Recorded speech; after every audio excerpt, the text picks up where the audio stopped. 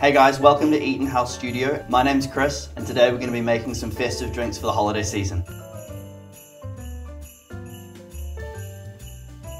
This cocktail is called Out of This World, and it's inspired by our space kitchen here at Eaton House Studio. This is a colour changing margarita. For this, we have rimmed the glass with a mixture of Maldon sea salt and pop rock candy.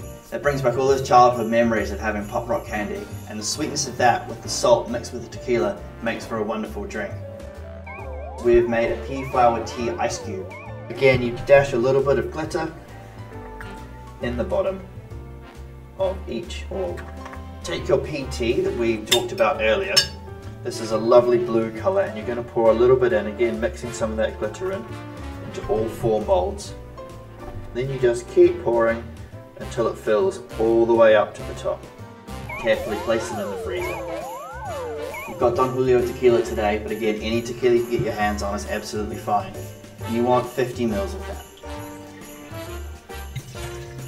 For this one, we're going to be using fresh lime juice because it helps with that color changing element of the drink. And you're usually using about one to two limes. Finally for this drink, we want to use some agave syrup. It's a slight variation on using sugar syrup. It's a nice natural sweetness added to the drink. You just want 12 and a half mils of that. Fill it up with ice and shake away. I'm going to double drain this one again. And slowly but surely, the colour's going to change. This comes as a reaction with the pea flower and the citrus in the drink.